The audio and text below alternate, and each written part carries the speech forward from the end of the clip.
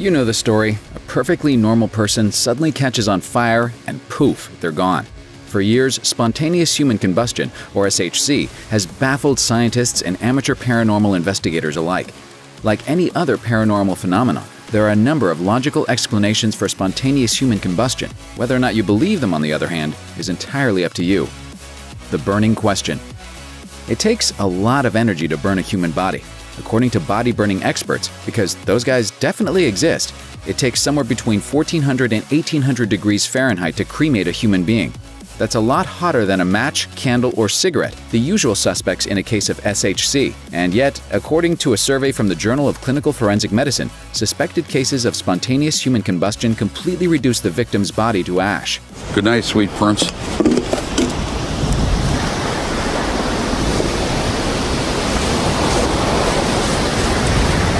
Even stranger, the victim's surroundings in these cases usually don't burn, even if they consist of flammable materials, which seems counterintuitive given how intense the necessary fires must be.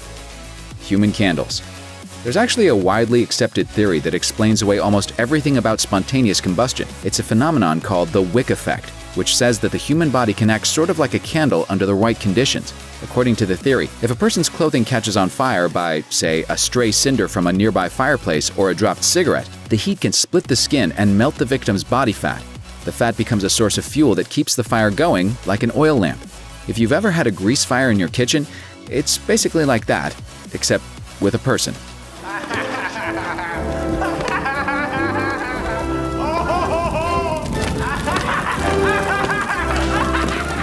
Heated debate.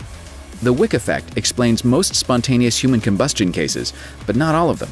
And as anything that's possibly paranormal, there are a number of alternate theories out there. Researcher Brian J. Ford argues that it may be caused by ketosis, a condition that often happens in people with drinking problems in which a glucose-starved body starts feeding on fat. Ketosis increases the body's acetone levels, and since acetone is flammable, the person is more likely to catch on fire. Other theories aren't so reasonable. At least one scientist thinks that ball lightning, a largely unexplained scientific phenomenon, might cause SHC. Some paranormal researchers even think that SHC might be related to poltergeists. Those are interesting theories, but come on, it's obviously Aragorn every time.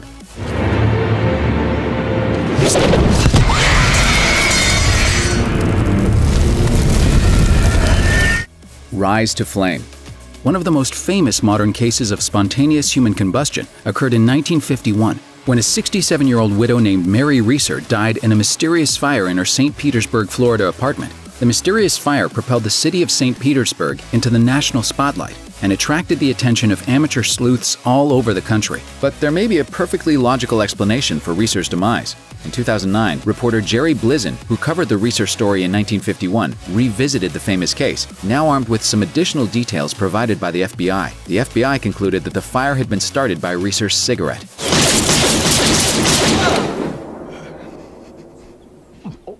Thank you for not smoking. Murder charge. Spontaneous human combustion may or may not be real, but it does have real life consequences, including, in at least one case, keeping a suspected murderer out of jail. According to a Doctor's Review article, a woman named Nicole Millet, a notorious drunk, burned to death in her kitchen one night in 1725. Her husband was convicted of the murder and given a death sentence, but a physician named Claude Nicole Lecat convinced the court that Nicole spontaneously combusted. Most gullible judge ever? Yeah, we'll go with that. Political fuel. If you haven't noticed by now, alcohol plays a big role in spontaneous human combustion cases. In fact, the link between drinking and supposed cases of SHC was so well documented that, in 1799, a physician even listed which spirits were most likely to cause SHC. Bad science or not, the public association between alcohol and SHC fanned the fires of the temperance movement. Throughout the 1800s, prohibitionists used anecdotal accounts of spontaneous combustion to push the anti-alcohol agenda. Claiming that the easiest way to avoid exploding is to simply stop drinking is a pretty compelling argument after all. Spontaneous human combustion actually became one of the main arguments for temperance until roughly 1928. A modern problem. Don't be fooled. While the history of spontaneous human combustion is filled with pseudoscience, it still crops up in the modern age. A BBC article reports that in 2010, a 76 year old man named Michael Faherty died at his home in Ireland. According to reports, he was burned to a crisp. Dr. Kieran McLaughlin, the coroner who handled Faherty's case, was baffled, left with a blank death certificate. McLaughlin only had one choice. He told the BBC, This fire was thoroughly investigated, and I'm left with the conclusion that this fits into the category of spontaneous human combustion, for which there is no adequate explanation. Was it really spontaneous combustion, or was McLaughlin simply out of options? We'll leave it to you to decide.